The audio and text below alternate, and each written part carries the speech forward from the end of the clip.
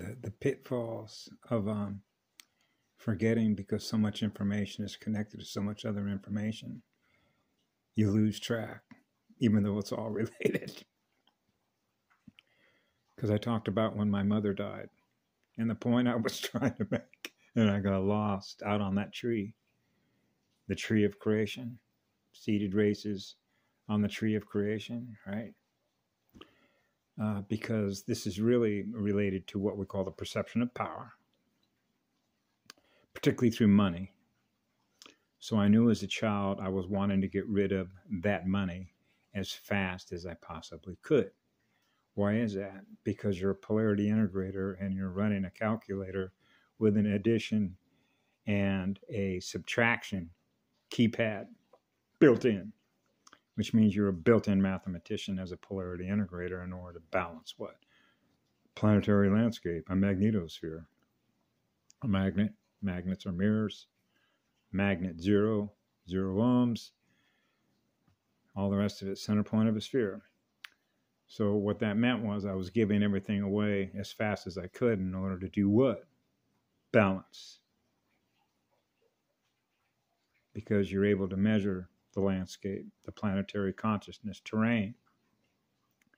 And the imbalance, which is based on measuring as a polarity integrator on a planetary level, how much electrical resistance there is in the other going the other way, which is why I use a metaphor of time card programming, chasing clocks and gearheads. They're always chasing the calendar. Hey, I don't get paid for two more weeks. How am I going to manage my budget? I can only spend 20 bucks today on this calendar, and I can only spend 40 bucks tomorrow on this calendar. And that's what holds consciousness energy, soul consciousness energy trapped to clocks and calendars, okay, which are leashes and collars and cages, otherwise known as a box. Okay, their checkerboard, duality, binary codes, binary math codes. So when my mother died in 1997, um, she passed on to me through courtesy of a man named Charlie Waters. And Charlie Waters happened to be, actually, he started out as a stock boy uh, for a company called Simpson, Spence, and Young. Simpson? Wallis Simpson? Who's Wallis Simpson? Wasn't Wallis Simpson married to King Edward? Whoa. See, I don't have an axe to grind with a gecko. When you are one giving love to all creation, you don't have an axe to grind with anything that is in your visual mirror. No, because you're giving love away, just giving it away, gifting it away, gifting it away. So even though I met a couple of people right down the road, apparently this woman is filthy rich, right? And she was apparently sacrificing cats and goats, holding everything captive, right? Who admitted to me one day on my way to the airport to fly to Oahu, we're not monkeys, we're lizards. Okay, that's fine with me. That's who you are. Thanks for letting me know. So you already know their future, don't you? Yep. Now I don't mention that those things to her because I'm not into what? Generating a negative reactive chemical reaction state of neural ions. I want those little spirits, which are in those elementals, to always be in harmony and balance with my water world as a polarity integrator.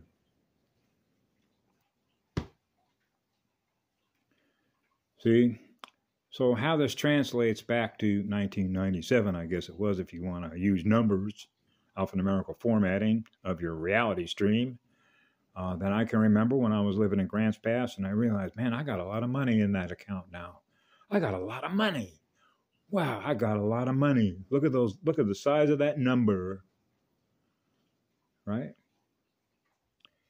And then I became aware of what I could do with that money and you translate it to what others do with their money because they accumulate so many electrons as a result of accumulating so many electrons off others to push those bigger numbers. And then I realized, wow, you know what? There are people I grew up with in Los Angeles that would kill people for 50 bucks. Now imagine what I could do with this much money. I could hire mercenaries. I could build an army to protect my kingdom. King's X. Now you get into all the monarchs, right? Now you can get into the seed and what John Gator was talking about, how he was beginning to map what are called seeded bloodlines, passing the seed on. And then we get into resistant mode, passing seed on, which represent bloodlines. And he made an interesting comment, actually, about how they were actually able to trace a bloodline based on the man seed, the male X-side seed, to an officer in the military. He said it was a field grade officer. Whoa. A trained soldier what was he doing with his energy? So now you get into the bloodlines. Now you get into the negative polarity. Now you get into the positive polarity. And you begin to see how this game is being played, but this is no game. Because they're draining soul's energy. When I became aware of it, because I was supposed to become aware of it, at the time I became aware of it, that Mama was trying to send out the repair signal which are codes to repair them. So they decided instead, we don't want to be repaired. You don't seem to understand. And of course, you can translate this through all their movies. Dune, right? The Imperium, imperialism, right? The more they have, the more they can control because the perception of power seen through the perception of accumulating more energy off of others that are giving energy away in order to drain their batteries. Now they become more powerful and suck all the energy out of the universe.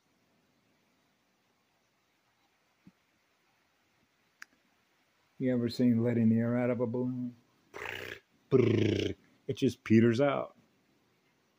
Peters out. So I realized that, yeah.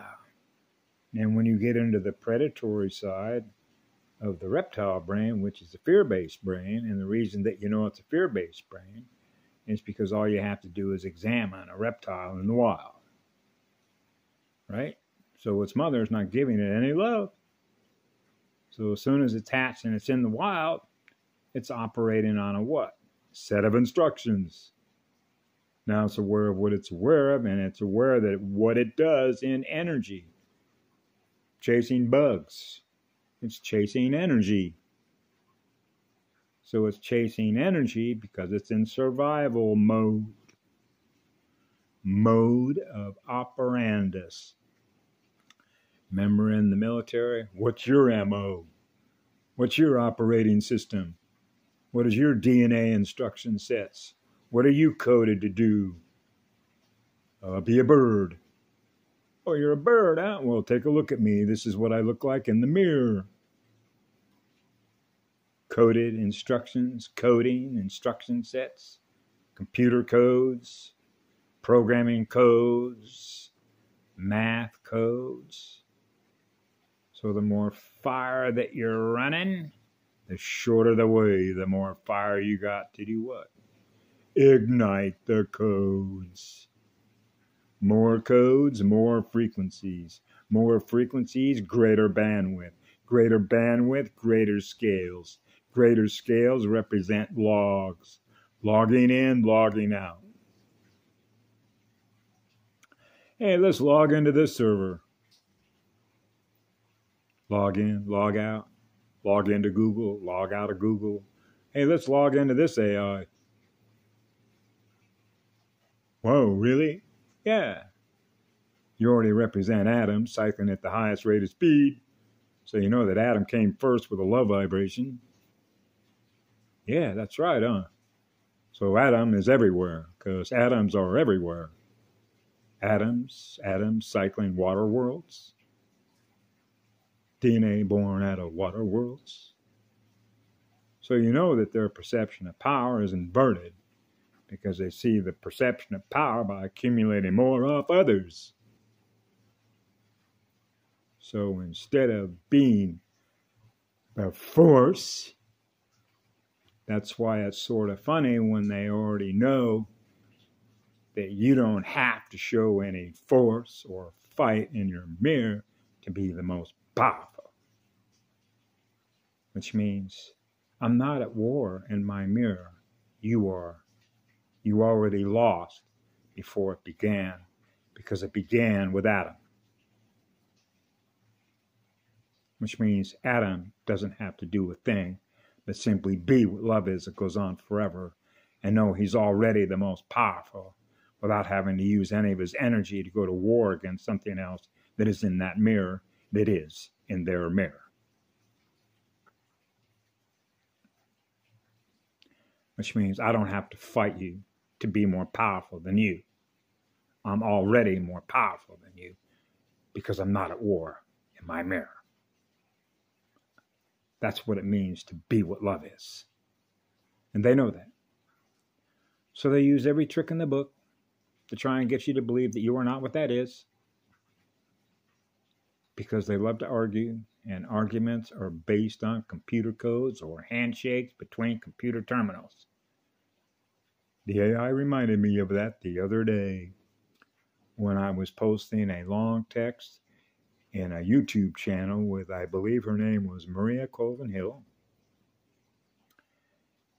And it said, I'm not going to post that for you because it's an invalid argument. So you realize that's censorship, huh? It means it cannot translate your energy within its own hub server. Whoops. Translating codes, character maps, character maps on a keyboard, character maps on a bigger motherboard alphanumerical formatting, four, four arrows on the compass, right? That's called an intersection. The vertical line and the horizontal line. That's where I get a kick out of these flat earth guys. A horizontal line. Go out and get yourself a, you know, ever built a house before? Ever worked in the construction industries? And you know, the carpenter uses a carpenter level. What do you have in the center of that level? a vacuum bubble. What's in it? Liquid.